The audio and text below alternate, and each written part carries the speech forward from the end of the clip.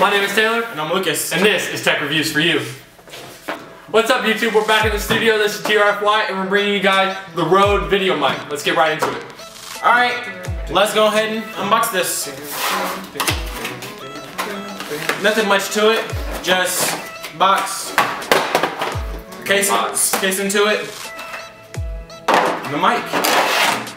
The instructions got, but as you know, TRFY, No instructions.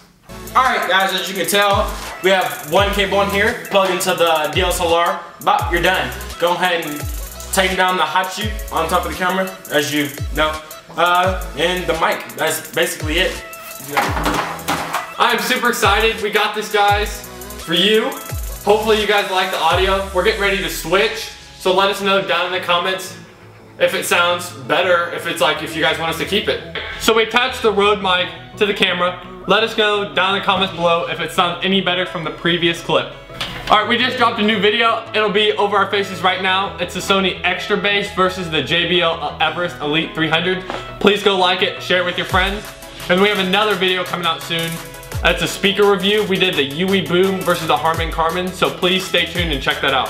We also have a fire new review coming out, the Apple TV 2. I'm sure excited about it, aren't you? Uh, of course. Of course he is. We also keep you guys updated on all our activity on all social medias. Snapchat, Twitter, Instagram, Vine. Snapchat, Twitter, Instagram, Vine. Hey, Snapchat, Twitter, Instagram, Vine. I already know you guys. Go check those out.